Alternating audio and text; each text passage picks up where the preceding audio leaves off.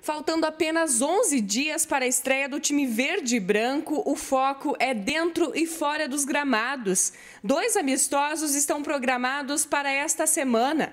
Oportunidade para Gilmar Dalpozo montar o time titular. Agora que a gente está entrando um pouquinho na área tática de posicionamento e quem vai condicionar e quem vai se escalar no dia a dia, nos trabalhos com bola e principalmente nesses jogos amistosos.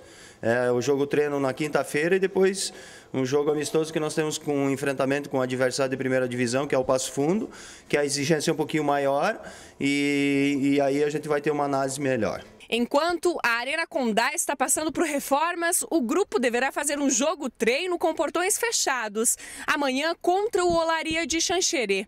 No sábado, os torcedores vão poder acompanhar a partir das 6 horas da tarde o amistoso entre Chapecoense e Passo Fundo, no estádio Josué Anoni de Xanxerê.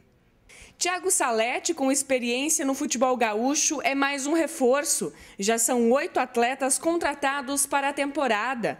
Agora a direção aguarda o início do campeonato para avaliar a necessidade de novas contratações. E vamos eh, retomar novamente essa conversa, vai ter um encontro com, da direção nossa com os representantes do Grupo Sonda para que a gente possa iniciar uma parceria e com certeza, se a gente conseguir alguns jogadores que vão ser bom para a Chapecoense e bom para o grupo também, a gente vai em busca disso aí também.